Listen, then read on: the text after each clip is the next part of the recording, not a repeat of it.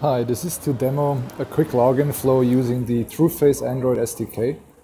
We'll be taking a, a live uh, picture or live video of a person off the phone and identify them against a, a, collection of known faces. Initially it's going to fail because my image is not actually enrolled yet, but I want to show you that. So it did not recognize, recognize me, I'll now enroll my image in the collection.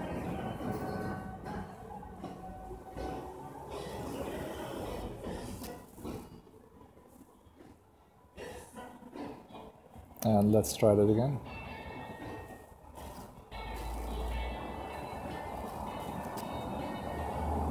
And it did recognize me now against that profile picture I pulled off the internet.